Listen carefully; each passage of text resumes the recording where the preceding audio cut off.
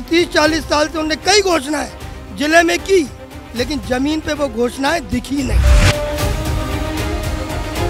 इन प्रकार की झूठी घोषणाओं से कभी छिंदवाड़ा को इन्होंने मॉडल बताते थे। इनके द्वारा कोई ऐसी सरकार या फैक्ट्री या कोई डाली गई है? ऐसी कोई एजेंसी लाई गई है कि जिसके माध्यम से यहाँ के युवाओं को बड़ा रोज़गार मिला होगा? इनके पास पैसा बहुत है साहब लेकिन कर्म नहीं है। भ्रष्टाचार से ऊपर से नीचे तक दब गए।